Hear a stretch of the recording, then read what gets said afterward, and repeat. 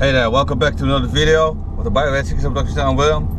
And I'm still in the UK with Martin over here in the RZZ. Can I pro- pronounce correctly? Yeah. Yeah, yeah, he's got a little treat for me. He's got his, one of his friends. He got a few awesome cars, and I'm gonna show him, go for a ride along, and have some impressions of what I think of it. And uh, not gonna tell you what they are, and I don't know how many cars I will be driving. Well, ride along, I'm driving any of them, but you know, uh, quite excited, and uh, yeah, let's let's see what's going to happen. Let's. Right, since we arrived at the location, let's see what this man has in store for us. So we just arrived at Steve's house, that's his name is. And immediately when he opened up the gate, man, look at this. This man just has. What year is this, Steve? 2020 Lamborghini Urus. Isn't that amazing? He doesn't want to be on camera, but he has a Porsche over here, the Taycan. An electric Porsche Taycan, these things are amazing as well, and a Lamborghini SV, uh, SV, uh, Spider, as I might note, a Roadster. They're called Roadsters. That's very nice, and of course, actually the car we we're here for, the 205 Dimma. That a quite, quite interesting combination if you ask me? They haven't seen that one, uh, that, that one coming, but uh, of course we're gonna take the little Dimma for uh, for a little drive. And it looks amazing actually. So when I, back in 1990, I had a, I had a Peugeot 205 GTI, a Miami Blue, 1.6, and I, and I couldn't afford to put the Dimma kit on it because I was just a kid. Yeah. And I, uh, and basically just always fancied one. So when I was 40, which was seven years ago, uh, Terry Pankhurst, you know the guy that does Dimma in the UK, Oh yeah. so he was building 10 uh, signature series cars. So he had 10 body kits left over, and um, it You had, take um, that? No, and he um, and, uh, and and he was building ten more cars. So he found a really good donor car, and then build it into a Dimma. So this is number three. 'cause number three is my lucky number. So I wanted number three. So my friend had number two built, and that's in Jersey now, a grey one. And and he built this for me. So Oh, that's very. Uh, so it's actually really relatively new. yeah, well, so yeah, it's a new. Yes, it's not. It's not an old original Dimma, but it's it's built by Terry, and um, and it's one of his signature series cars. So. So the, the, the donor car was actually weirdly uh, Darren from Spooks, you know Spooks Racing Development, Yeah, you know, the, I the do Peugeot know. guys. So Dar- this is Darren's old car. It was- Oh, it was- really? It was, uh, this purely by chance. So last uh, last couple of weeks ago, uh, Martin was putting some new suspension and brakes on, and he asked me to call Spooks to order them and get them delivered to his place. And I uh, and I was speaking to Darren, and Darren and Darren said, "Oh, have you st- is this is this D30 Knox?" Obviously the number plate. I said, Yeah. "Yeah, yeah." He said, I've, "I've been I've been trying to find that car for years. That was my old that was my old car." So he, he, put, he put the two liter turbo engine in it and did some Ah. work to it and did something with the internals and did a, made the put some played with the turbo and stuff. And so um, so he was dead surprised that was his car. That's Kinda- amazing. That's kinda really cool. weird, really. So it's quite, quite nice. It's quite nice to know the donor car was Darren from Spooks. Yeah. You know, so you know it's good car. You know. Yeah, it's been loved in the past, so that's a good thing to know. Yeah, exactly. So, um, want to get this? Should we get it out? Yeah, that would be amazing.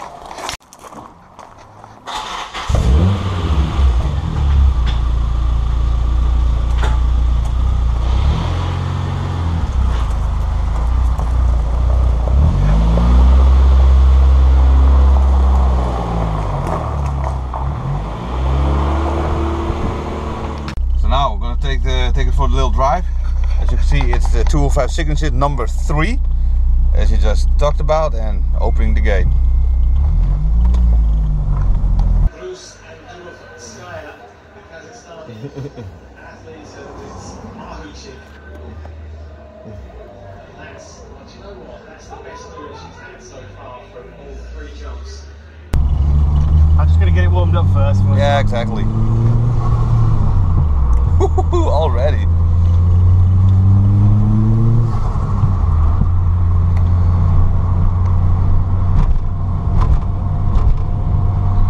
Oh, I just love the feeling of a 205, even though I have three of them.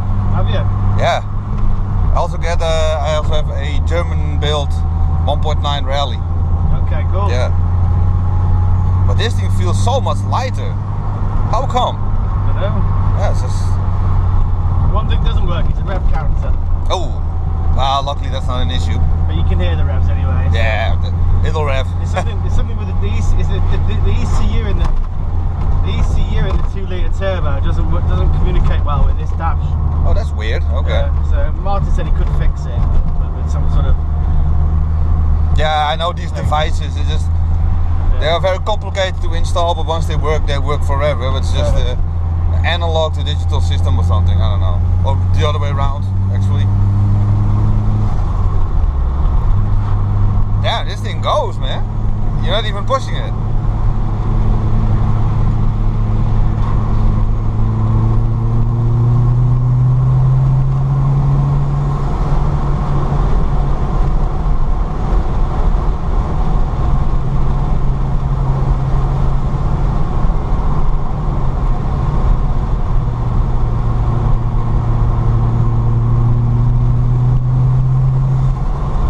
Damn, that turbo does it? Yeah, I love that. Yeah, that's Yeah. awesome.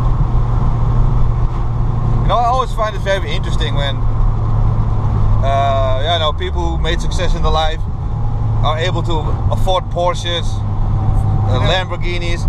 Somehow, most of them always have like a little love for what they Oh. used to have. You know, I've got a, I've got um, I've got a lot friends come around my house, and, and you know, when I get open the garage sometimes, they're more interested in this than the Lambo. Yeah, it's, it's, it's weird, isn't it? There's Yeah. just something about them. Yeah, I also have the same thing on car shows. So, like the Lambos are really cool, but then someone has a really rare old like old Opel Kadett or something, and I'm like, dude, haven't seen one in years. You know, there's something about these things. What what made you fall in love with the 205 in the first place? Well, that's, it was the car to have, wasn't it, in 1990, 1988, 1989. You either had a 205 GT, sorry, you either had a 205 GTI or a Golf GTI. Yeah, they were both great, you excellent, know, actually. And, uh, I think you kind of had one or the other, didn't you? Yeah, Or, or you went down the Ford route and had a XR3i or an RS Turbo or something like that. Um, I just think that I think the I think the um, I just think, I think that the, the, the chassis on the Peugeot 205 is just uh, you know it, it, it was a good car. Well, it's not such a good car nowadays, you know. now Yeah, but- new stuff. But back then it was the it was the most fun one, I think. I agree. I agree. I've uh, I've driven a Golf one before. It's great. For some for some reason, it just it's not the same. No. And I really like the fact that the 205s, the non-GTIs, were like the chassis were just so fun. Yeah. It's probably a product of the time because the French roads were really bad. So the suspension on the stock ones, like the non-GTI, were very good. You could just go everywhere quick, and the, the suspension will soak all the all the bumps and jumps and everything. Yeah. And the GTI was even better. So on that basis, the suspension was really nice, and the chassis was built for it.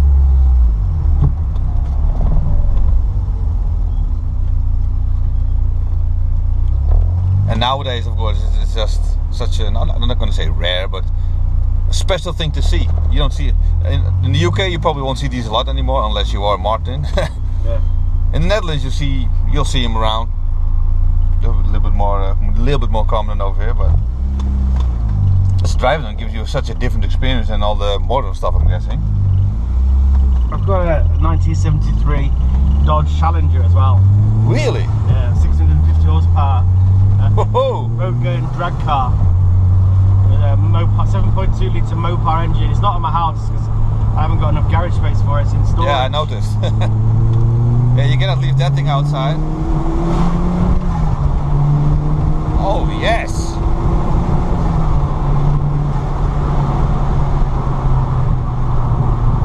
Once it's warmed up, this thing likes to go. I'm surprised at how composed it still is, even though because the wide body makes the suspension a bit weird, but Yeah, very nicely done. Of course, Terry knows what he's doing, so yeah. So Terry, uh, I mean Terry's more of a bodywork man and um, a cosmetics guy, really. So when I when I got the car, I lived down south. I lived near London then. I only moved back up here about four years ago, and um, and he didn't. And, and I said where do I get it serviced and stuff, and Terry wasn't really that interested because he's not. His, he doesn't get. He doesn't do the oily bits. yeah. Um, and I, so, I mean, it's a bit criminal, really, but I've only done about 200 miles in this car in eight years. Oh, So I, I just, I, I just haven't had time to use it for various reasons. And then, I, then earlier this year I thought, "Do you know what? Because the suspension was the standard suspension, which was pretty shit, and the uh, standard brakes, which are really shit. You know, because apparently this this has got 230 horsepower. This one apparently. Yeah, that's. So um, so I didn't um didn't really enjoy driving it much. So I gave it to Martin, and Martin's put proper brakes on it, proper suspension, and uh, it's just a bit more fun now. So I think I'll use it more. yeah. But I can imagine, like, I do the brakes and suspension myself as well. It makes a huge difference. Yeah. Especially you want to go a trip down memory lane, like back in the day. It's I tell you what, I tell you what Terry did do. He's put this uh, power steering thing on for me. Oh, really? It's got um, very, it's got you can turn the power steering to um, be more assisted. It's a bit heavy at low speeds. Yeah. Interesting. Martin has a similar system in his V6 one. Yeah. From a uh, from an Astra, he took it out of. Not sure if this is the same one, but yeah, that's a very nice system. Never heard of that before, but in the in the Netherlands, that's something that we do. No, I've never seen it before, but Terry just said it was a, it was a little modification that he did that makes the car a bit easier. Yeah. I've only have one 205 with power steering, and the rest of them all are without. And having power steering is quite nice, especially if you're, you know, for a pleasure drive. Having power steering is quite nice. The other ones are like more like I give it hell. I don't really care much about the power steering, but Yeah. when you're parking and going for a cruise, it's quite quite lovely to have it. Wow, that's a little pop.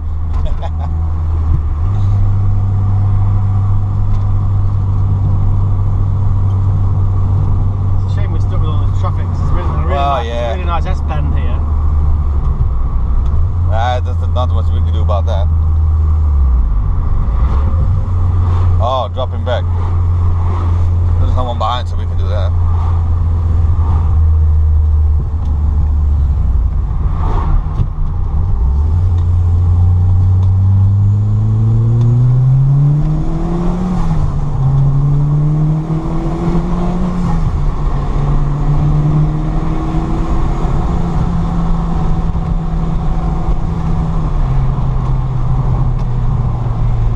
Oh. Yeah, the suspension is doing its work. That was great. It's a nice little thing. yeah. Thing is, I think, I think you got you got to remember. I mean, when, I suppose when I was 19, I had one of these, and I thrashed the shit out of it everywhere. Um, but now it's a it's a 30 odd year old car now, so you've got to take it. You know, it's an old girl, isn't it? You can't Yeah. drive them quite the same. As you used to, but They can't. I don't think they can take the punishment, really, can they? yeah. They can start falling off them. They can t- still can take a lot, but not everything. But you, you probably cannot drive the Lambo the same way you drive this thing. Oh, the driver gets the Lambo gets a real good thrashing. Yeah. I was doing 180 miles an hour coming through France last week. That's nice. But you could take this thing out like on the really narrow bumpy roads. I don't think the Lambo will like that. No, Lambo's too too wide. Yeah. Because this is so small, even though it's wide, it's still small. Yeah. so yeah, you can still drive these little tight roads. That's what I really like about uh, the hot hatchback, the whole the whole idea of it. It is definitely a hot hatch at the moment. I must admit, um, that, that Porsche um, Taycan has that's just replaced a Golf GTI and a Mark a Mark 8 Golf GTI uh, club, you know the um, club sport one, and that was such a that was a great car. It was a proper hot hatch. oh yeah, Used to, you know, dragging that around the lane. It's lovely.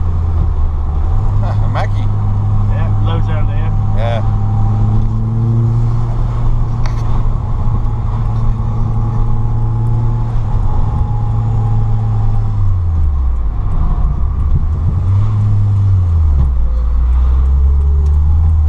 That's my friend Rob. Oh, nice. oh, the back end turned in nicely.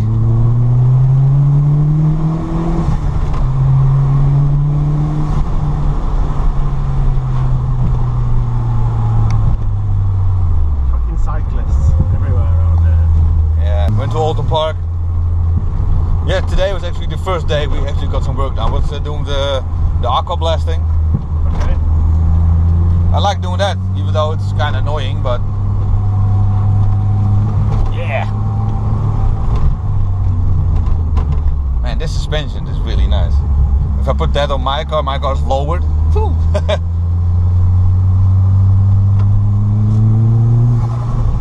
For me, it's just a big learning experience. Uh, having a week with Martin, you know, uh, he's doing trip Peugeots for I don't over 20 years, I'm guessing, Yeah. and I'm only doing them for like six. Okay. So I've got a lot to learn. It's also nice to see uh, uh, how different the Peugeot culture is over here than it is in the Netherlands. Oh, it's Pugfest. These are very popular in the Netherlands, these engines actually.